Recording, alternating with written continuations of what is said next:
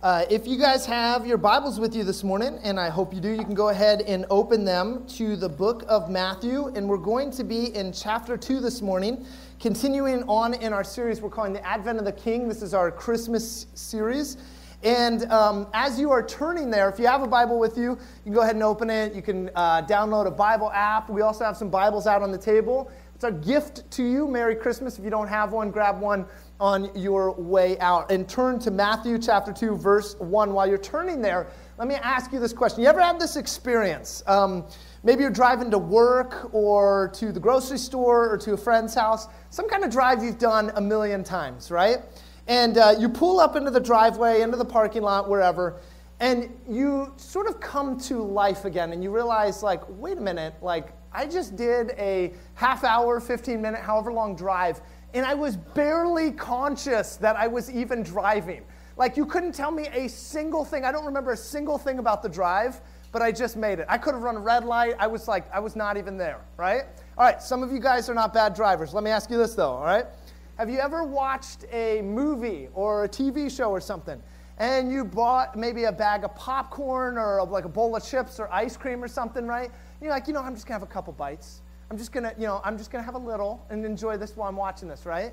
Well, the movie ends, or you get to, you know, the 14th episode of your show, and you look down, and all of a sudden you've eaten everything, and you're like, I didn't even know. When did this happen? I was just on autopilot. I was barely conscious of this, and yet it was happening the whole time. No? Okay. All right. We got a lot of good drivers and uh, good eaters. All right. Let me ask you this then.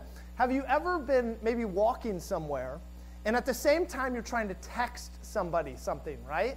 And for whatever reason, maybe it's a confusing text or they're not getting it or you're trying to word it correctly, right? And you're just engrossed in your phone.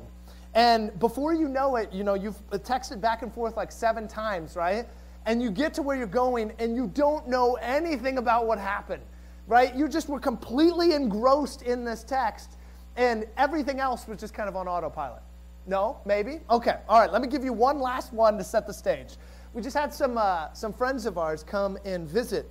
And it was interesting because we, uh, where we live, we live right by a fire station, a gun range, and two major airports, right? So there's a little bit of external noise going around. Now the funny thing is, though, is once you've been there about you know a little uh, about a year, you just kind of get used to it all. It's just you know it, it's certainly happening, and you certainly hear it, but you don't factor it. Maybe if you've lived by like train tracks, or maybe you're by the airport too, and you've experienced this as well. And so friends show up and they're like, "Wow, how do you get used to that noise?" And you're like, "What do you? Oh, the airplanes? Yeah, it's nothing, right?" Well, here's the deal there's another noise that we're all experiencing right now.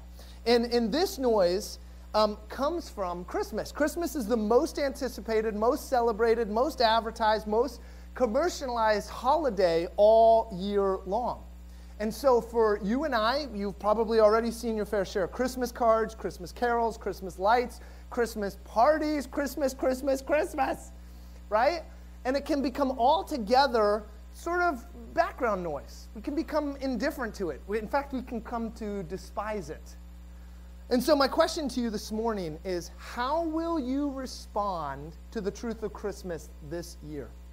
And I want to work us through the text with three responses we see in our main characters. All of you will probably be from, you don't even have to come from a church background to be familiar with this story. This is the story of the wise men, the magi. And there's three characters in the story. I want to highlight the way they respond to the truth of Christmas. The first is, how will you respond to the truth of Christmas? The first is with the hostility of Herod. The second is with the indifference of the scribes. And then the third is with the worship of the wise men. How will we respond to Christmas this year? Let me start with our first character, with the hostility of Herod. So if you have your Bibles with you, we'll get started. Matthew 2, verse 1. It says this Now, after Jesus was born in Bethlehem of Judea in the days of King Herod, after Jesus was born. Okay? So if you're thinking manger and sheep and shepherds, then we need to move forward a bit, right? So the old joke amongst pastors is that in the nativity scene, you have the wise men right there with you, but really you need to move them down the hallway a ways because they probably don't get there till maybe two, three years later. Jesus isn't a baby, he's a toddler. And you see in this text, it says, Now after Jesus was born. And notice it says, in the days of King Herod. So this is a historical marker. Herod the king reigned between 37 BC and 4 AD. But don't just hear this as like, okay, that's an interesting historical fact. What I need you to get is the tonality of the story, all right? It says, now in the days of King Herod.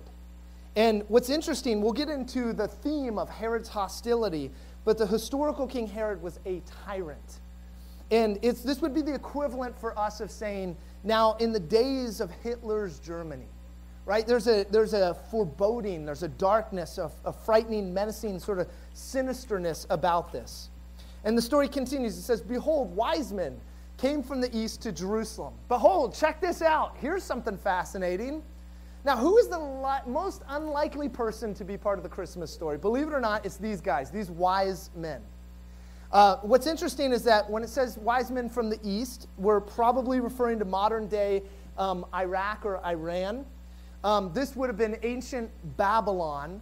And these would have been, by all accounts, to God's people who Matthew is writing to, these would have been considered the bad guys, right? These are the guys that we don't like. And all of a sudden, they show up in the story.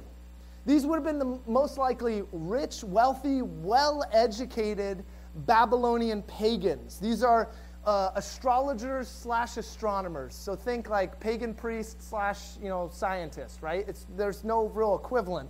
But this is an interesting group of folks to show up in the story. This is the Oxford professor slash the, uh, the pagan priest. And Matthew is writing and saying, Look who's coming to Christmas.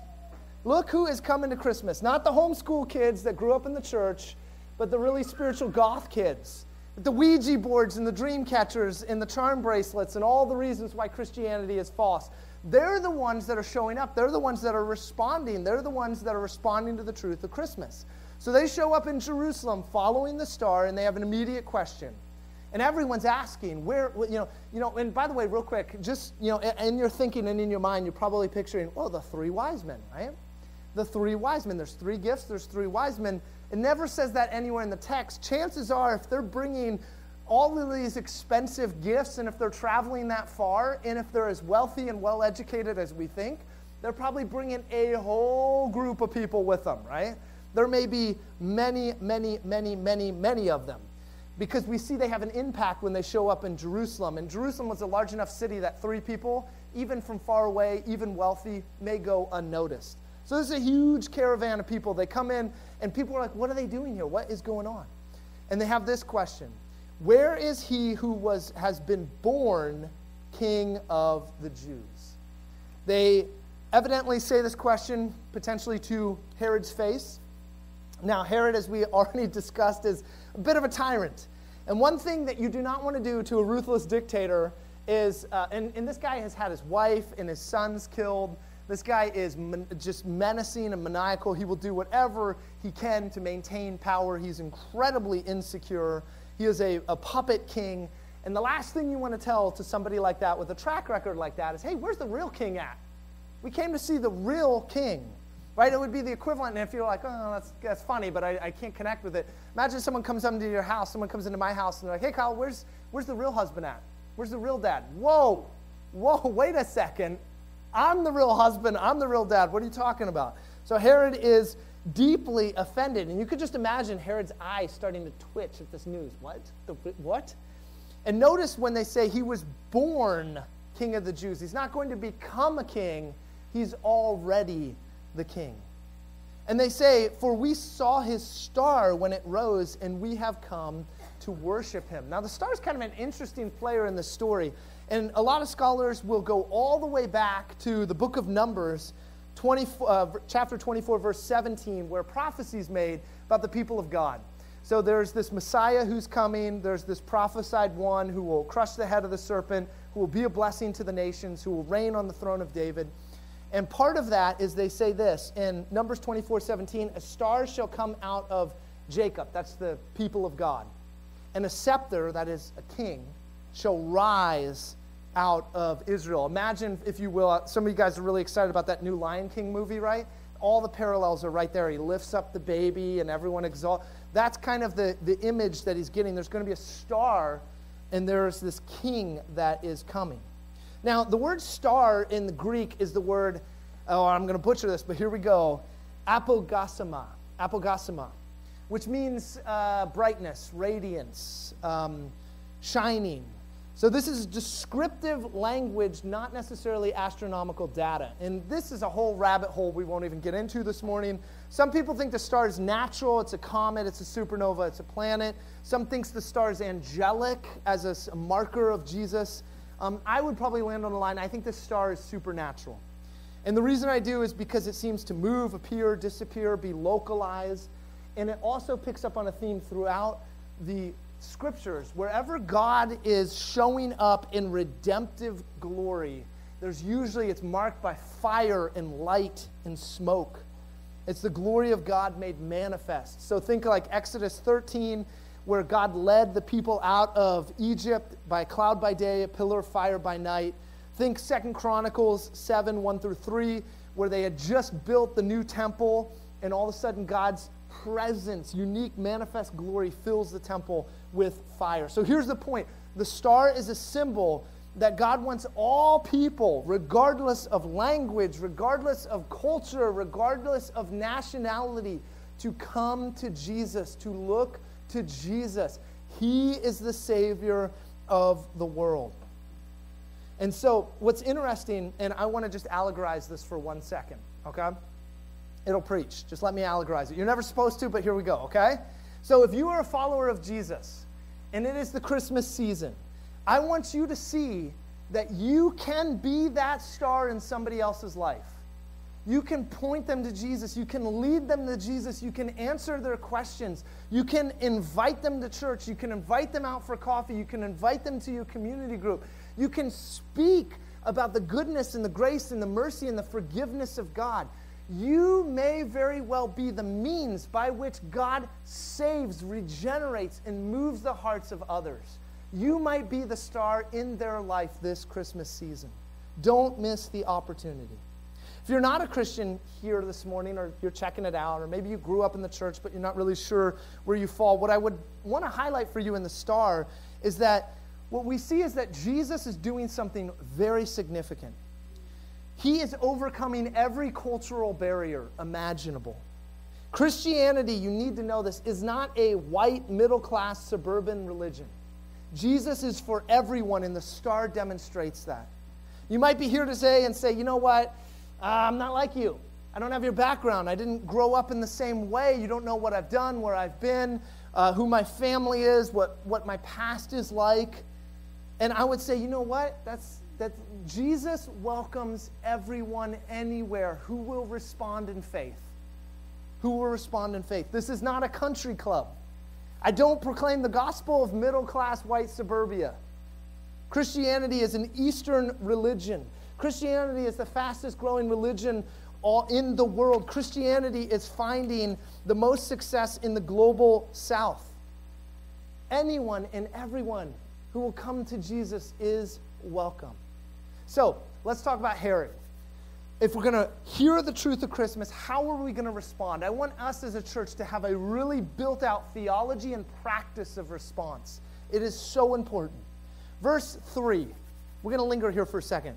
Says, When Herod the king heard of this, he was troubled, and all Jerusalem with him.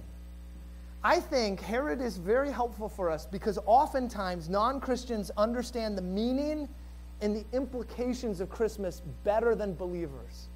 Better than people who've grown up in the church. Better than people who just think Christmas is just the noise that you hear at this time of year.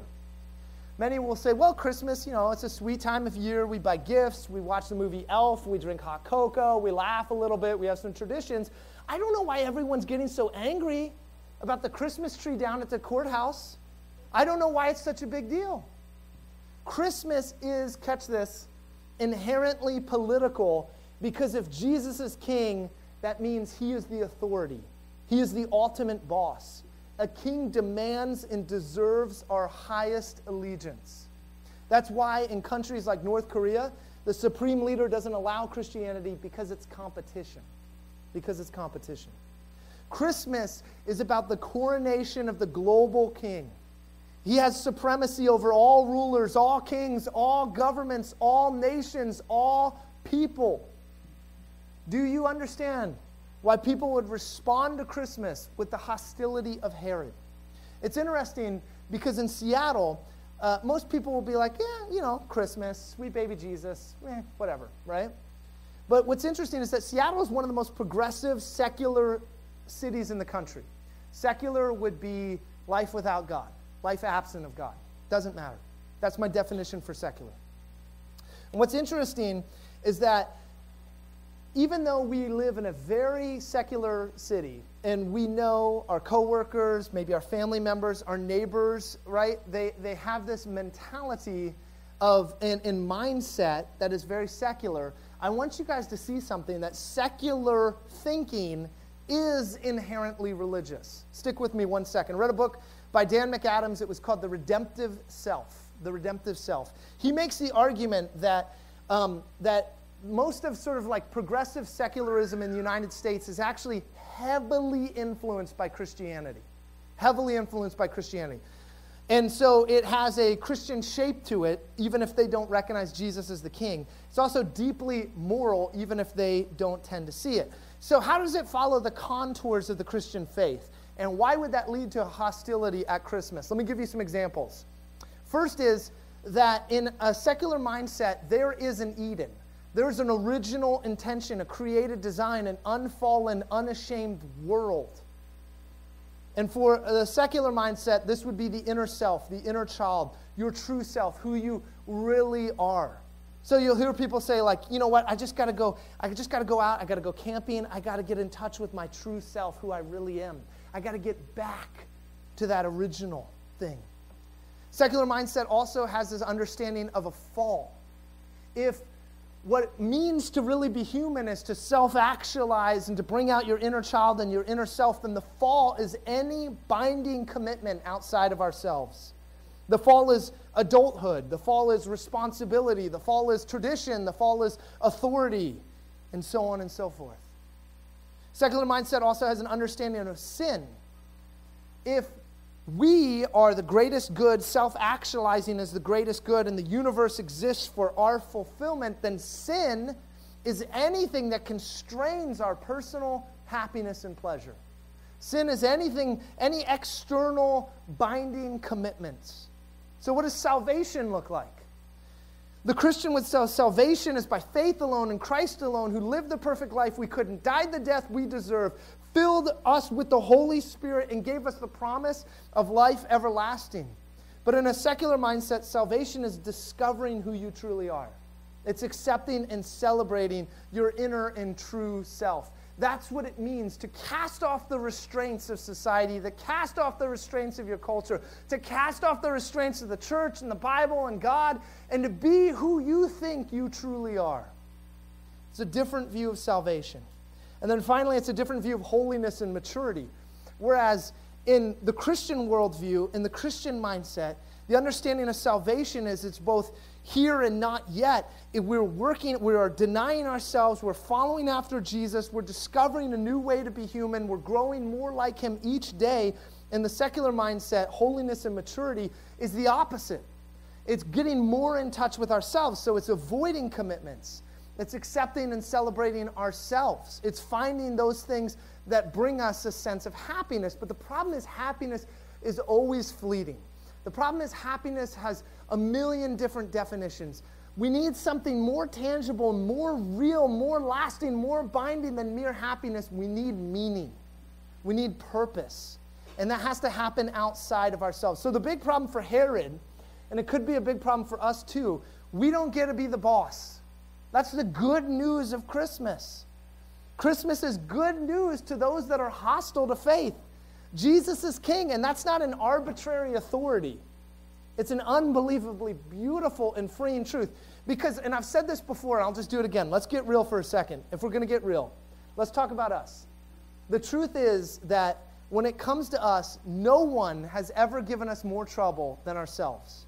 No one has ever been more terrible to us than ourselves. No one has ever lied to us more than us. No one has ever failed us more than us. We're often terrible to ourselves. And the irony is that we keep thinking we can fix ourselves. Well, we're the solution.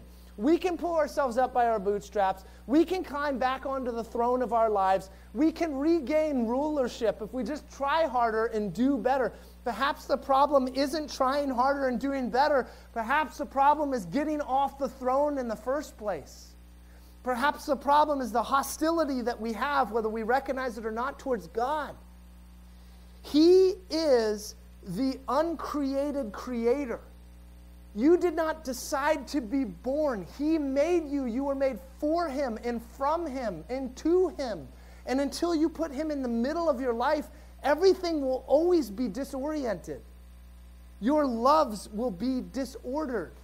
The alignment of your life will be off. You were made from God for God.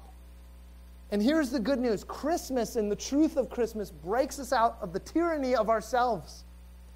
Jesus is king, and Christmas is about recognizing and worshiping the eternal God.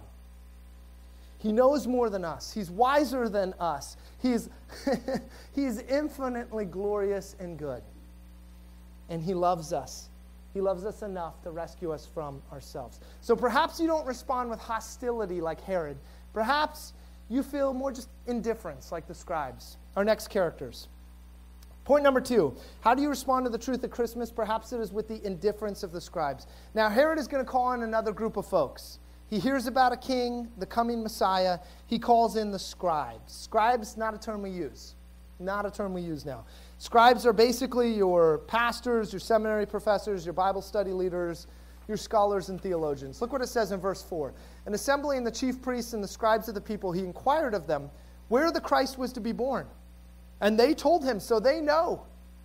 These guys know the scriptures, they see the star, and they're not doing anything about it. They told him in Bethlehem of Judea, for it is written by the prophet, And you, O Bethlehem, in the land of Judea, by no means least among the rulers of Judah, for from you shall come a ruler who will shepherd my people Israel. Yeah, I know exactly where the verses are. I know exactly how to find it in my Bible. What's fascinating to me is that there are those, and maybe you've met them, maybe you are one. There are some people, whether it be a college professor or somebody off the streets, there are people who know the scriptures front and back better than I could ever hope to, but it makes no difference in their life. There is an indifference there. They haven't responded, they haven't worshiped. They're apparently not going to go with the wise men. Look what it says in verse 7. Then Herod summoned the wise men secretly, ascertained from them what time the star had appeared. And when he sent them to Bethlehem, he said, Go search diligently for the child. When you found him, bring me word that I too may go and worship him. Right? You know, you know Herod is full of it. But notice that neither Herod nor the religious professionals would go and search for Jesus. They know about him, but they do not know him. They understand him, but they do not love him. They recognize his authority, but they don't respond to it. These are the religious experts. They should be the first ones to Jesus. But their response to the truth of Christmas is indifference. And perhaps, and I hope you don't hear me just like throwing stones and over caricaturizing. I want to pick up on themes because perhaps this is you this year maybe you just feel a little indifferent. Eh, what does it matter? Right? I, I, you know, this is the 35th Christmas for me. Maybe it's the 60th for you. Maybe it's the 27th, whatever.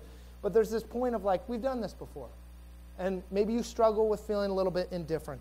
I want to give you maybe three reasons in my observations and conversations with folks why you might feel a sense of indifference this Christmas. The first is maybe, if you're honest, Jesus hasn't met your expectations. I was talking with someone um, a year or two ago, and they said this thing that has always stuck in my brain. They said, I was pleading with them, I was explaining faith, I was trying to lift up Jesus, and they told me, they said, Kyle, you know what? I tried church. I went there once. It didn't work for me. It didn't work for me. Perhaps you're indifferent to Christmas this year because Jesus didn't meet your expectations. I thought in following him, I would be happy, healthy, wealthy, successful, and my life would fall into place. I thought I could go to church on occasion and get the meaning that I need, kind of check off the spiritual box in my life. Perhaps, perhaps, you may be feeling indifferent to Christmas because you do not fully understand what is being communicated in Christmas. Jesus doesn't want to be a part of your life, He wants all of your life. Jesus doesn't want your Sunday, He wants your Monday through Sunday. Jesus demands our full allegiance. And in the same way, you wouldn't go to the gym one time and expect to come out ripped and muscular and healthy. Don't go to church and think that you're going to somehow get your spiritual mark checked off. Jesus says that if you love me, you'll do what I command you to. They'll know you're my disciples by the way you love one another. Pick up your cross daily, die to yourself, and follow me. The Christian life is all encompassing. Perhaps you're feeling indifferent to Christmas because, well, if you're honest, and maybe you wouldn't say this out loud, but you feel it internally, Jesus just seems totally irrelevant, right? Like, this is just, it's kind of almost escapism. It's a nice story, but what does it have anything to do with me and my life? And what's interesting is that I would say if that if you feel like Jesus is totally irrelevant, there's two things that you perhaps might be lacking this Christmas. The first is perhaps you're lacking an understanding of who Jesus is and what he's come to do in Jesus and in the truth of Christmas, we have meaning, morality, purpose, destiny. This is all encompassing. This isn't just for life in the future and what happens when you die, it's for your life now. He's your rabbi and your teacher. He's opening up a new way to be human. Christianity is far from irrelevant when we rightly understand it. Well, perhaps you're feeling indifferent because if you're honest, there's just a lack of communion. Like, you understand what Christianity is and what it means, but you just don't spend a whole lot of time with God. And if that's you, I want to encourage you in something really practical this morning. There's a great book called Spiritual Pathways, in which the author um, outlines nine ways that we connect with God. There's a test online. I'd encourage you, if you're part of a community group, um, have your folks fill this out and have a discussion about this. If you're not part of a community group, get in one. And, um, and I encourage you, take this test. So here are, the, here are the nine ways that we connect with God. As you're hearing these, I wonder if you might identify which one you are. And we're all really a combination of several of these things. So, how do we connect with God? How do we commune with God? How do we develop intimacy with God? It's different for many of us, for all of us. Let me give you some ways. First, there's the naturalists. The naturalists. These are people that love to get outdoors, that love to go hiking, that love to see the sound or Mount Rainier. And by seeing the majesty of God's creation, it helps them to connect with God. It helps them to pray. It provokes them to praise into worship. For some, perhaps you're not a naturalist, perhaps you are an intellectual. You love theology. You love books. You love to learn new ideas, new concepts, new realities about who God is. And if you're not learning, you feel a disconnect. That's how you uniquely engage with God. Perhaps you are um, a sensate, you love the arts. Perhaps you're a traditionalist, you love ceremony and schedule and ritual and symbol. Perhaps you are an activist. You love and you feel connected and close and provoked to worship when you're fighting for justice in this world. Perhaps you're a caregiver and you feel closest to God when you are loving and serving those who are in need, those who are broken, those who are hurting, those who are addicted, those who are the least of us. Perhaps you feel most like Jesus when you are serving them. Perhaps you're an enthusiast. You just love worship, right?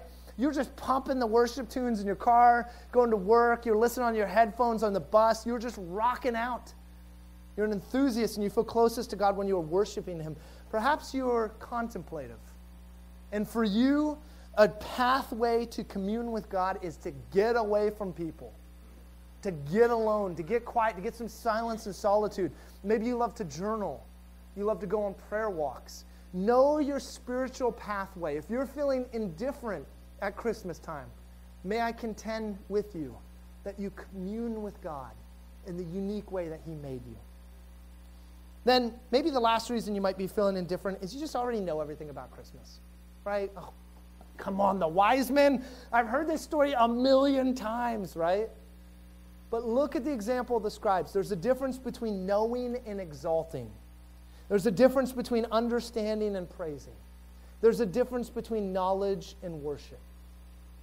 If Christmas is boring to you, if the church is stale, if the Bible seems dry, if you're going through a low point and you feel sort of indifferent to the whole thing, then might I contend with you that it is time to take the next step of obedience in your faith. Challenge for you practically today, if you're feeling indifferent to Christmas, take the next step of obedience. The next step that makes you feel profoundly uncomfortable. The next step that God has been calling you to, but you've been procrastinating.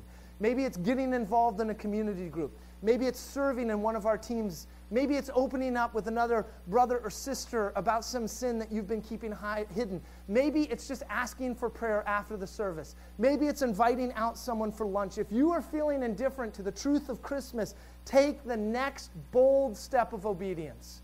Because when you are partnering with God, when you are walking with Him, every day can be fresh, every truth can be relevant, every word can be effective. Take the next step of obedience.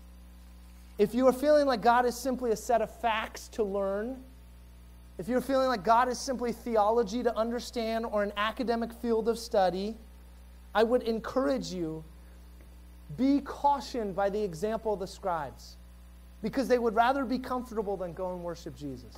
They would rather have ideas about Jesus than go and worship him. They would rather talk about Jesus than go and worship him.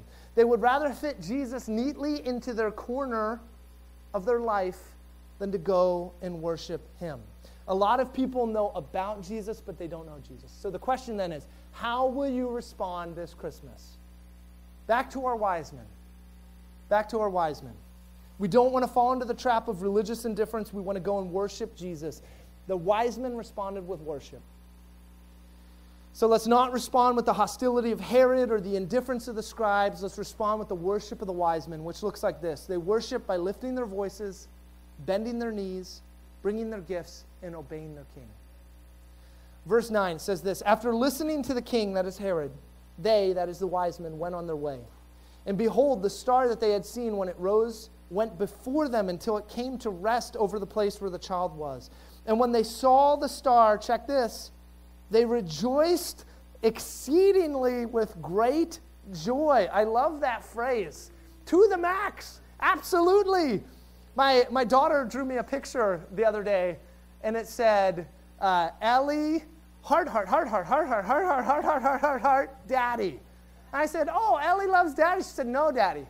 Ellie loves, loves, loves, loves, loves, loves, loves, loves, loves, loves, loves, loves, loves, loves daddy. That's the kind of super rejoicing that they are doing here. And uh, the reason I want to highlight this is because as a church here at RVC, I really, really, really want us to have a built out theology and practice of response. We can do that this Christmas. When God initiates, when God speaks, when we hear His word, when we receive a message, when we listen to a sermon, when we sing songs, when we hear the goodness and the grace and the truth of God, what do we do? We respond. And there's many ways we can do that. Look what they did with joy. They responded with great joy. They lifted their voices. They interacted. Church isn't just a download of information, it's a community of worship. So they rejoiced exceedingly with great joy. When God shows up, when God speaks, we celebrate. They rejoiced exceedingly with great joy. Well, what if I'm introverted? Rejoice exceedingly with great joy. Well, what if I can't sing? Rejoice exceedingly with great joy. Well, what if I'm a loner and I'd like to sit in the back and I'd like to leave when the songs start? Rejoice exceedingly with great joy. Well, what if I'm not expressive and I tend to be pretty, you know, uh, just to rejoice exceedingly with great joy. Well, what if I'm a bearded hipster and I'm only into indie rock and I'm too cool for everything, right? Rejoice exceedingly with great joy. It's not about you, it's about Him. God shows up, God intervenes, God rescues, and we respond with celebrating. We respond with celebrating. Following their example, it says, Going into the house, they saw the child with, his, uh, with Mary, his mother, and they fell down and worshiped him. We respond by bending the knee to our King. And it's interesting because I want you guys to get the mental picture at this point. Jesus is a toddler around two years old. Here are these Oxford professors, these wise men, these PhDs, bowing before a toddler with a snotty nose. They're worshiping. And they're becoming Christians that night. They move from worshiping the stars and the planets and the environment and themselves to worshiping their king. For some of you, maybe the step you need to take this Christmas is to bend the knee, maybe even for the first time, and to see Jesus as who he truly is, the king of the universe. And then, opening their treasures, they offered him gifts gold, frankincense, and myrrh. Many of you will be familiar with this. So, these are gifts that you give to a king. The gold would be kingly, the frankincense is, um, would be burnt and offered up in prayer and consecration, showing Jesus' priestly role. And then the myrrh would be used as burial perfume. So, even in his birth, it's already highlighting his death. And what's interesting is that we see that the magi, the wise men, they worship not merely in understanding or in thought, but they brought their gifts. And there's something about when we give that we really start to understand and practice the gospel. Yeah, and I, I, can tell my, my givers, my tithers out there, they're already like nodding their heads yes, and I can tell who's not going, oh gosh, is he going to talk about giving? What is this? But the truth is, 90% with God's blessing is greater than 100% without it. We don't give gifts to God like royal care packages. We don't give gifts to God as bribes. We don't give gifts to earn favor. We give sacrificial gifts as a way of ascribing worth to God. We give our treasures to God in the work of His kingdom because He is worth it. And then one final way that they worship. Thank you for sticking with me. Verse 12, it says, And being warned in a dream not to return to Herod, they departed to their own country by another way. The wise men have a final choice they obey Herod or they obey God. Part of worship is obedience to Jesus. And so the principle here is that we always respect and submit to our governing authorities unless they either command what God forbids or forbid what God commands. And perhaps you saw the news this last week. Pastor Wang Yi um, and over 100 members of Early Rain Covenant Church in China had been arrested by the state for subversion. Before he was arrested, he wrote this powerful letter that perhaps you've seen floating around online. He said, As a pastor of a Christian church, I have my own understanding based on the Bible about righteous order and good government. And I'm filled with anger and disgust at the persecution of the church by the communist regime at the wickedness of their depriving people of their freedoms and of their conscience. As a pastor, my firm belief in the gospel, my teaching, my rebuking of all evil proceeds from Christ's command in lordship. Every man's life is extremely short, and God fervently commands the church to lead and to call everyone to repentance. Christ is eager and willing to forgive all who turn from their sins. This is the goal of all of the efforts that we have done in China to testify to the world about our Christ, to testify to the middle kingdom about the kingdom of heaven, to testify to the earthly, momentary leaders about the heavenly and eternal leader. As a pastor, my disobedience to the communist regime is part of my gospel commission. Christ's great commission requires of us great disobedience. And the goal of disobedience is not to change the world, but to testify about another world. We respond to the truth of Christmas with worship because the King has come.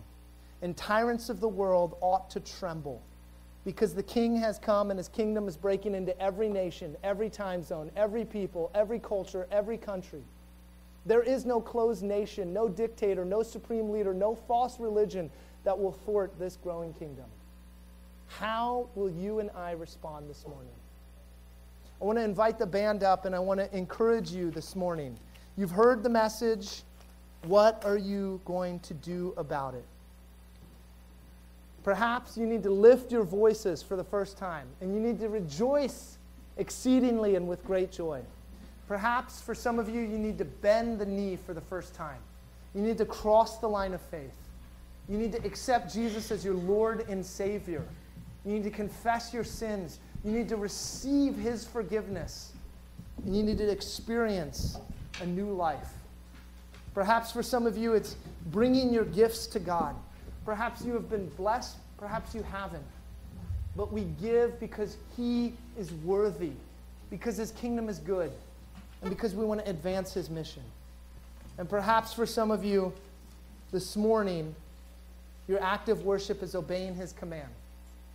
Perhaps it's not listening to what the culture says, what the world says about life, about sexuality, about religion. Perhaps it's practicing a disobedience to the world that is an obedience to the Lord Jesus. How will you respond this morning? Let me pray. Heavenly Father, we thank you, Lord, for your word. We thank you for the truth of Christmas. We thank you, Lord, that as the people waited and waited and waited for 400 years, Lord, that you came, that you fulfilled your promises, that you love us. Lord, may the truth of Christmas warm our cold, indifferent hearts. May the truth of Christmas turn enemies into friends, turn agnostics into followers, turn hostility into love.